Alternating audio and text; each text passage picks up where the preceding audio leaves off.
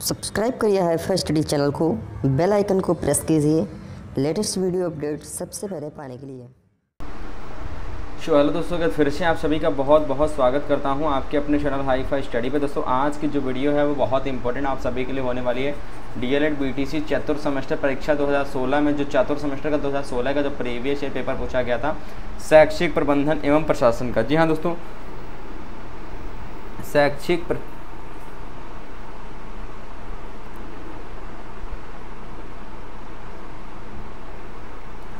शैक्षिक प्रबंधन एवं प्रशासन का जो पूछा गया था पेपर आपका यहाँ पर चूँकि आपको दोस्तों यहाँ पर पता होना चाहिए, ये पेपर हमारा पूरा पचास नंबर का होता है और इसमें आपको पच्चीस नंबर अनिवार्य रूप से लाने ही लाने होते हैं। समय आपका दो घंटे का होता है, ये सारी जो बेसिक जानकारियाँ हैं, वो मैं हर पेपर जो भी सॉल्व करवाता हूँ, मैं आपको सभी को पहले ही बता देता हूँ, चूँकि वहाँ पर आपको समय की बचत करके और अपने पेपर पे पूरा का पूरा जो है कंसंट्रेट रहना है, लिखना आपको स्टार्ट कर देना है। समय बहुत ही ज़्यादा मूल्यवान होता है। अब बात करते हैं यहाँ पर कि नोट यहाँ पर एक दिया रहेगा कि सभी प्रश्न करना अनिवार्य है, प्रत्येक प्रश्न के निर्धारित अंक प्रश्न के सम्मुख दिए गए हैं। दूसरा नंबर, इस प्रश्न पत्र में तीन प्रकार के प्रश्न ये तो मैं हर बार आपको बताता हूँ। अति लघु उत्तरीय प्रश्न, बहुविकल्पीय प्रश्न और लघु लघु उत्तरीय प्रश्न, ठीक है ना? तो अगर यहाँ पर बात करते हैं दोस्तों, इनके शब्दों में लिखना तो मैंने आपको बताया ये कोई मायने नहीं रखता, कितने भी शब्दों में लिखें। अब यहाँ से हमारा पहला जो बनता है, वो बनता है, पहले प्रश्न बनते हैं, जो वस्तुनिष्ठ प्रश्न बनते हैं, जिनका उत्तर छांट के सिर्फ़ लिखना होता है आपको।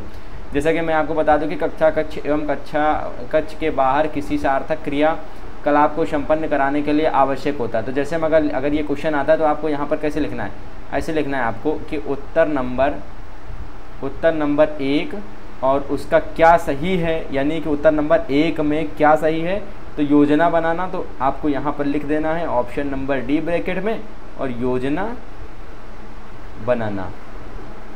ठीक है ना? बस आपको इतना लिखना है। कोई क्वेश्चन कोई ऑप्शन सारे ऑप्शन बिल्कुल लिखने की ज़रूरत नहीं है। बस आपने अगर इतना लिख दिया ना तो इतना आपके लिए काफ़ी है, सर। इतना आपके लिए काफ़ी है। ठीक है ना? तो यहाँ पर सर क्या हो जाएगा? योजना बनाना। अगला हमारा हो जाएगा यहाँ सेकंड नंबर की मानवीय प्रबंधन के घटक हैं। मानवीय प्रबंधन के घटक क्या हो जाएँगे? विद्यालय, भवन हो जाएँगे, पुस्तकालय हो जाएगा, फर्नीचर हो जाएगा, शिक्षक बच्चे और समुदाय हो जाएगा। तो भाई सेकंड नंबर का राइट आंसर जैसा कि मैंने आपको बताया था यहाँ पर इसके प्रीवियस ईयर जो थे लगभग तीनों साल के प्रीवियस ईयर के बहुविकल्प मैंने आपको करा दिए थे। और इस वीडियो में मैं आपके लिए लेकर के आया दोस्तों आते लघुत्तरी और बहुविकल्पी दो टाइप यहाँ पर कंप्लीट करेंगे। और जो लघुत्तरी प्रश्न होते हैं वो आपको खुद ही करना पड़ेगा ठीक है ना? वो आप, आपको खुद ही तैयार करना पड़ेगा क्योंकि बड़े क्वेश्चन होते हैं उनको आपको खुद समझना होगा कि हाँ कैसे देखिए, वहाँ से लघुत्तरी क्वेश्चन भी उठते हैं और लघुत्तरी क्वेश्चन से आप विस्तृत उत्तरी यानी अति लघुत्तरी से आप लघुत्तरी बना सकते हो, बिल्कुल बना सकते हो, उसमें कोई वो नहीं है। अगर आपने पढ़ा है तो बना सकते हो। ठीक है ना? तो मानवीय प्रबंधन के घटक हैं। मानवीय प्रबंधन के घटक कौन कौन से हो जाएगा? विद्यालय भवन हो जाएगा, पुस्तकालय हो जाएगा, फर्नीचर हो जाएगा, शिक्षक बच्चे और समुदाय हो जाएगा। तो देखिए, मानवीय प्रबंधन की, यहाँ पर मानवीय प्रबंधक की बात की जा रही है तो दोस्तों यहाँ पर आपके सभी आ जाएँगे, शिक्षक बच्चे और समुदाय सर। ऑप्शन नंबर डी को यहाँ पर लॉक करेंगे। क्वेश्चन नंबर थर्ड बनता है कि समस्या समाधान का प्रमुख अंग है। समस्या जो है, वो समाधान का प्रमुख अंग है। कौन सा प्रमुख अंग हो जाएगा दोस्तों? ठीक है ना? तो यहाँ पर शिक्षक प्रक्रिया, निर्णयन प्रक्रिया, अधिगम प्रक्रिया, अनुशासन प्रक्रिया, सभी ने आप लोगों ने करा उसको निर्णयन प्रक्रिया, समस्या समाधान का प्रमुख अंग होता है। निर्णयन प्रक्रिया होता है, हमारा वेरी मोस्ट इंपॉर्टेंट हो जाएगा। अगला क्वेश्चन आप सभी को यहाँ पर पता होना चाहिए, जो बहुविकल्पी प्रश्न होते हैं, वो पंद्रह क्वेश्चन पूछे जाते हैं और टोटल क्वेश्चनों की संख्या होती है चालीस। ठीक है ना? टोटल क्वेश्चनों की संख्या जो होती है, वो चालीस संख्या होती है। अगला हमारा हो जाएगा कि विद्यालय में भवन फर्नीचर पेयजल एवं शौचालय आदि की व्यवस्था की जा सकती है। किसके द्वारा की जा सकती है? ग्राम शिक्षा समिति के द्वारा या अभिभावक शिक्षक संघ द्वारा या समुदाय द्वारा या उपरोक्त तीनों की सहयोग से। तो भाई आपको पता होना चाहिए, यहाँ पर तीनों के सहयोग से हो सकता है, चाहे वो अभिभावक संघ के द्वारा हो, चाहे समुदाय के द्वारा हो, या ग्राम पंचायत शिक्षा समिति जो है, या उसके द्वारा भी हो सकता है। एन स्थित है। आँख मूंद के आप लोग टिक लगा दो, ऑप्शन नंबर सी पे नई दिल्ली। ग्राम शिक्षा समिति के गठन के लिए आवश्यक है। एक महिला का होना, ये भी क्वेश्चन काफ़ी बार रिपीट किया है। प्रीवियस ईयर का क्वेश्चन है। वेरी मोस्ट इंपॉर्टेंट क्वेश्चन है दोस्तों, एक महिला का होना। ठीक है ना, एक महिला का होना। एक महिला का होना। अगले और सात नंबर क्वेश्चन की यहाँ पर हम बात करते हैं, जो कि हमारा दोस्तों दिया गया है कि लो कॉस्ट नो कॉस्ट वाली शिक्षण अधिगम सामग्री का निर्माण किया। देखिए, सभी के अंक जो हैं, उनके सम्मुख दिए गए हैं। बाज़ार से वस्तुएँ क्रय करके, ठीक है ना, बाज़ार से वस्तुओं को क्रय करके या शासन द्वारा प्राप्त सामग्री से स्थानीय परिवेश में उपलब्ध वस्तुओं से या प्रधानाचार्य द्वारा प्राप्त कराई गई सामग्री से। तो दोस्तों, यहाँ पर राइट आंसर जो हमारा हो जाएगा सात नंबर का ऑप्शन नंबर सी को लॉक करेंगे यहाँ पर दोस्तों, स्थानीय परिवेश ने उपलब्ध वस्तुओं से। क्वेश्चन नंबर आठ, प्राथमिक कक्षाओं के बच्चों को पाठ्य पुस्तकें निःशुल्क उपलब्ध कराई जाती हैं। भारत सरकार द्वारा या फिर आपका हो जाएगा जिला बेसिक शिक्षा अधिकारी द्वारा या राज्य सरकार द्वारा या अभिभावक द्वारा। तो भाई राइट आंसर हमारा एट नंबर का जो हो जाएगा ऑप्शन नंबर भी हो जाएगा राज्य सरकार द्वारा। उत्तर प्रदेश माध्यमिक शिक्षा परिषद, आपको तो लिखा होता है ना बुक पे आपने देखा होगा।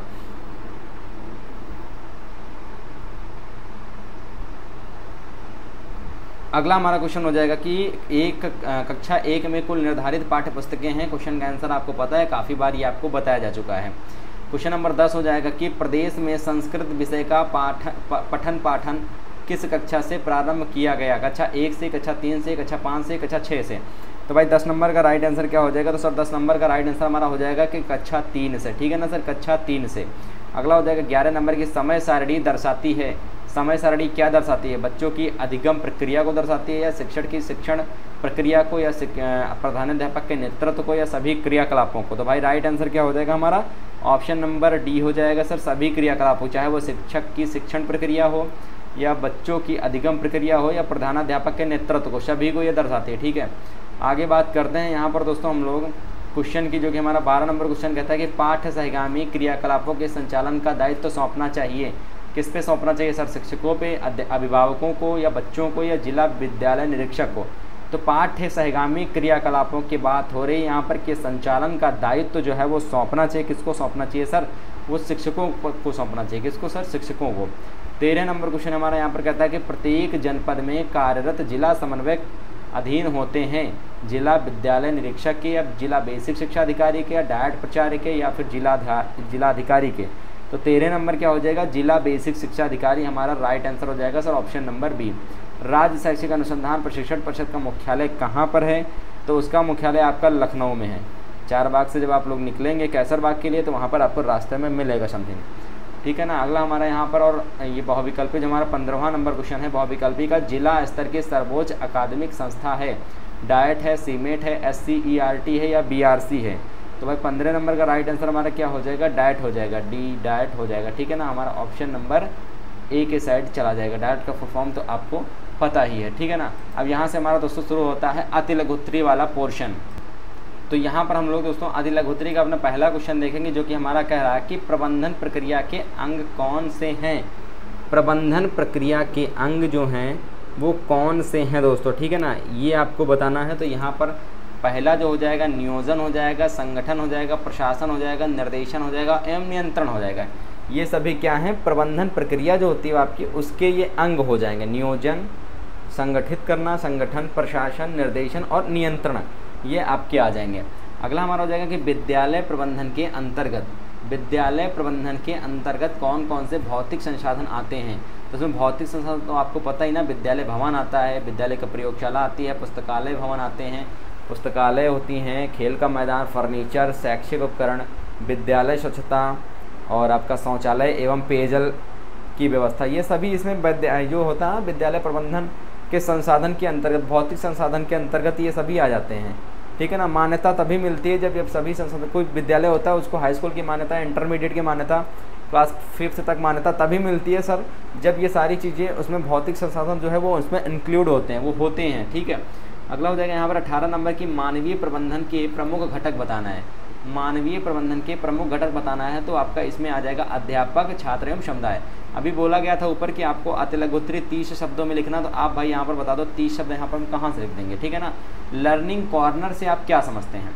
लर्निंग कॉर्नर क्या होते हैं? यानी कि लर्निंग कॉर्नर से अभिप्राय एक ऐसे स्थान से है, जो छात्रों को सीखने में सहायता प्रदान करता है। जो छात्रों को सीखने में सहायता प्रदान करता है लर्निंग कॉर्नर छात्रों के ज्ञान में वृद्धि करता है या फिर तथा साथ ही साथ उसमें अवलोकन करने का निष्कर्ष निकालने के लिए या निकालने के गुणों का विकास करता है लर्निंग कॉर्नर में पाठ्य पुस्तकों कार्य पुस्तिकाओं कहानियों आदि का संग्रह भी होता है। किसमें होता है सर? लर्निंग लर्निंग कॉर्नर में। लर्निंग कॉर्नर में।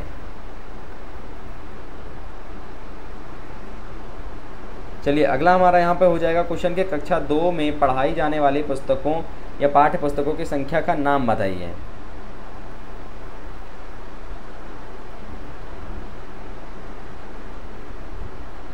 ठीक है ना? पाठ्य पुस्तकों का नाम बताना। तो यहाँ पर दो ही होती हैं, भाषा, कलरों और बाल गणित भाषा, कलरों और बाल गणित ये अब आपने पढ़ा है, हमने भी पढ़ा है इसको, ठीक है? आप लोगों ने भी पढ़ा होगा। पाठ्य पुस्तकों के विकास में किन किन बिंदुओं का विशेष रूप से ध्यान रखा जाता है तो पाठ्य पुस्तकों का विकास बच्चों के स्था, स्तरानुकूल एवं रुचि के अनुसार होना चाहिए और पुस्तक पाठ्य पुस्तक की पाठ्य वस्तु से बच्चों में आत्मविश्वास, आत्मनिर्भरता, तर्क करना, कारण, प्रभाव, कल्पना शक्ति, सृजनात्मकता जैसा जीवन कौशलों का भी विकास होता है। नेक्स्ट हमारा हो जाएगा यहाँ पर दोस्तों कि सामान्य विद्यालय में कम से कम कौन कौन सी समय सारणी बनाई जाती है। सामान्य विद्यालय में कम से कम कौन कौन सी समय सारणी बनाई जाती है? तो आपको पता होना चाहिए, यहाँ पर दो सारणी, कक्षानुसार और शिक्षकानुसार, दो के अनुसार बनाई जाती है समय सारणी। अगला हो जाएगा यहाँ पर कि बच्चों से प्रोजेक्ट कार्य कराने की उपयोगिता बताइए। मतलब क्यों बच्चों से हम प्रोजेक्ट कार्य करवाते हैं? क्या होता है प्रोजेक्ट कार्य करवाने से? है ना? क्या होता है प्रोजेक्ट कार्य करवाने से? इससे आपको पता होता है कि इसमें प्रत्येक छात्र अपनी व्यक्तिगत रुचि, ज्ञान और क्षमता के अनुसार स्वतंत्र रूप से कार्य करते हैं। जिससे सीखना सरल हो जाता है। जिससे क्या होता है? सीखना सरल हो जाता है क्योंकि अपने स्वतंत्रता के अनुसार कार्य करते हैं। स्वतंत्र रूप होकर के कार्य करते हैं। और इस विधि में अर्जित ज्ञान स्थायी होता है क्योंकि वहाँ पर सीख सीख कर वो ज्ञान ले रहे हैं। तो यहाँ पर क्या होता है? अर्जित ज्ञान स्थायी होता है तथा यह रटने की प्रवृत्ति को भी कम करता है। मतलब जो बच्चा रटंत विद्या को अपनाता है, रटने पर ज़्यादा विश्वास रखता है तो वो अगर आप यहाँ पर प्रोजेक्ट कार्य करवाएँगे तो वो इस विधि को भूल जाएगा, इस प्रवृत्ति को भूल जाएगा, कम हो जाएगा। तो बच्चों में उत्तरदायित्व की भावना का विकास होता है। अगला हो जाएगा यहाँ पर हमारा कि शैक्षिक भ्रमण का महत्व बताना है। तो शैक्षिक भ्रमण का महत्व सूक्ष्म अवलोकन एवं निरीक्षण शक्ति का विकास होता है। तथा यहाँ पर क्या बात आती है कि बच्चों में वैज्ञानिक दृष्टिकोण पैदा होता है। उसके बाद खेल कूद से बच्चों में किन पक्षों का विकास होता है? खेल कूद से आई थिंक बच्चों में क्या विकास होता है? किन किन चीज़ों का विकास होता है खेल कूद से। तो आपको पता है खेल कूद से बच्चों का शारीरिक भी विकास होता है और मानसिक विकास होता है। ऐसा नहीं है कि उसका मतलब मानसिक विकास ही होगा, मस्तिष्क भी खुलेगा, मस्तिष्क में भी विकास होगा और उसके शारीरिक में विकास होगा, स्वस्थ रहेगा, निरोग रहेगा, रोग उसके पास नहीं आएगा मतलब ये होता है शारीरिक विकास और मानसिक विकास खेल कूद से। अगला यहाँ पर हमारा क्वेश्चन हो जाएगा दोस्तों कि शिक्षकों, अगला हमारा क्वेश्चन हो जाएगा यहाँ पर दोस्तों कि शिक्षकों के से संबंधित पंजिकाओं के नाम लिखना। शिक्षकों से संबंधित पंजिकाओं के नाम यानी उपस्थित पंजिका, अवकाश पंजिका, अध्यापक अध्यापक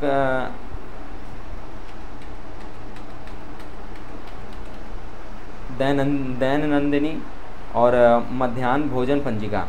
और वित्तीय अभिलेख कौन कौन से हैं? तो वित्तीय अभिलेख आपको पता होना चाहिए कि दैनिक रोकड़ बही, डेली कैश बुक जो होती है यानी खाता बही उसे कहते हैं वित्तीय अभिलेखन। अगला हो जाएगा यहाँ पर बीआरसी तथा एनपीआरसी में क्या अंतर होते हैं? बीआरसी और एनपीआरसी में अंतर क्या होते हैं वो यहाँ पर आपको बताना है।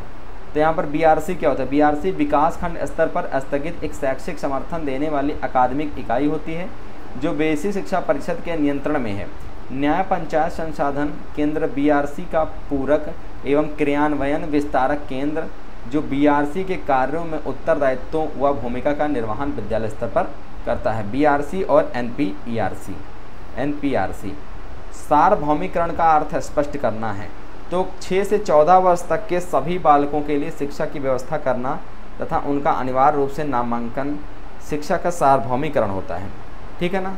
कहने का मतलब यहाँ पर है कि 6 से लेकर के 14 साल तक कोई भी बालक हो, बालिका हो, शिक्षा की व्यवस्था करना तथा उनका अनिवार्य रूप से नामांकन शिक्षा का सार्वभौमिक कहलाता है। मतलब उसका एडमिशन होना चाहिए, अगर वो छः से लेकर के चौदह वर्ष तक है तो। उसके बाद यहाँ पर बात आती है अपने कि प्रदेश के राज्य परियोजना कार्यालय का मुख्यालय कहाँ स्थित होता है?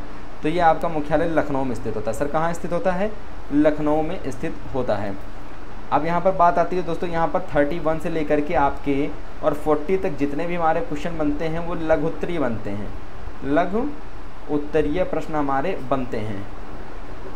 तो इन क्वेश्चनों का ये दस क्वेश्चन होंगे, इनको आपको डिटेल में पढ़ना है, ठीक है ना? उनको आपको पढ़ना पड़ेगा और उनको आपको समझना पड़ेगा, क्योंकि ये जो हैं इंपॉर्टेंट क्वेश्चन होते हैं। लघोत्तरी भी चूँकि आपके दो दो नंबर के होते हैं, लेकिन मोस्टली अगर आपने अच्छे से लिखा है, तभी आपको दो नंबर मिलते हैं, वरना कोई डेढ़ देता है, वन, ठीक है ना? कोई डेढ़ देता है या फिर कोई दो नंबर बहुत मोस्टली देता है, कोई एक ही नंबर दे दे देता है, ठीक है ना? तो इसको आपको अच्छे से पढ़ना है। ये था दोस्तों 2016 का प्रीवियस ईयर पेपर। ये था दोस्तों आप सभी का 2016 का प्रीवियस पेपर, शैक्षिक प्रबंधन एवं प्रशासन। ठीक है ना? तो ये वीडियो कैसा लगा आप लोग ज़रूर ज़रूर बताइएगा। देखिए, हर एक प्रीवियस ईयर पेपर हम लोग कवर करने की पूरी की पूरी कोशिश करेंगे। चाहे वो जिस सब्जेक्ट का हो, हर एक प्रीवियस पेपर आपके लिए लाने की पूरी कोशिश की जाएगी।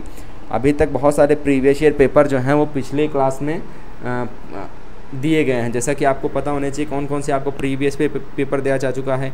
आपका एक तो हिंदी का दिया जा चुका था उसके बाद आपका सामाजिक अध्ययन का दिया जा चुका है शांति शिक्षा का दिया जा चुका है 2013 का और जो आपका सामाजिक विज्ञान था वो 2016 का दिया गया था। कल दो बजे और अभी क्या था कि अभी कल सुबह ग्यारह बजे आपको विज्ञान का भी 2016 का करवाया गया है। और ये भी आपका 2016 का। तो मतलब हर एक सब्जेक्ट में आपको तीन तीन या चार चार प्रीवियस ईयर पेपर करवा दिए जाएँगे, उतने आपके लिए बहुत है। ठीक है ना? तो उम्मीद करते थे सेशन पसंद आया होगा। इस वीडियो का लोग ज़्यादा से ज़्यादा शेयर कर देना अपने दोस्त मित्रों के साथ। मिलते हैं नेक्स्ट वीडियो के साथ। तब तक थैंक यू जय हिंद, जय भारत। वंदे मातरम।